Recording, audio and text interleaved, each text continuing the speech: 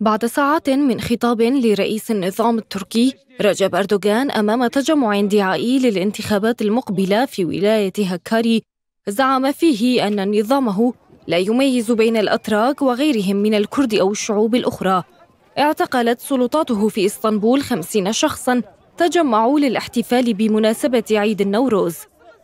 المعتقلون بينهم صحفية في وكالة فرانس بريس كانت تتهيأ لتصوير احتفالات عيد النوروز الذي يمثل رأس السنة الكردية حيث قال صحفيون كانوا حاضرين ومحامون في جمعية محامون من أجل الحرية أن الصحفية تم إخضاعها لتفتيش جسدي مبالغ فيه واقتيدت إلى سيارة للشرطة.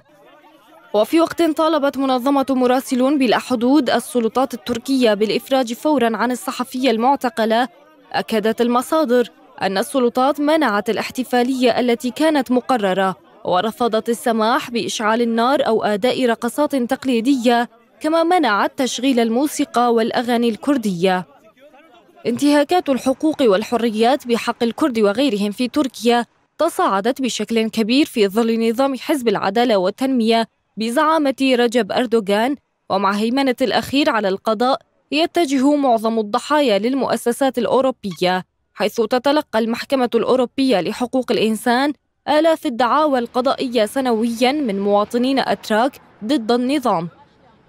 ووفقا لوسائل إعلام تركية فإن من بين كل مئة قضية معلقة في المحكمة الأوروبية لحقوق الإنسان 35 قضية ضد السلطات التركية مشيرة إلى أنه منذ التاسع والعشرين من شباط فبراير الماضي بلغ عدد الدعاوى المرفوعة ضد أنقرة 23550 قضية.